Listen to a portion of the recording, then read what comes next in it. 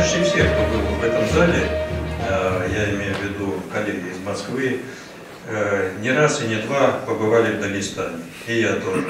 И мы помним все тепло, все гостеприимство, которое нам там дарили. Э, помним и Махачкалу, и Дербент, и Аулцада, и Гунип.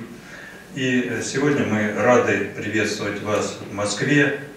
И я надеюсь, что с удовольствием услышим поэтов, которые говорят, пишут на разных языках.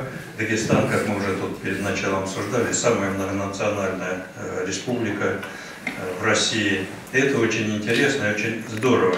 А если есть народ, то есть язык. Если есть язык, обязательно есть поэты и поэзия.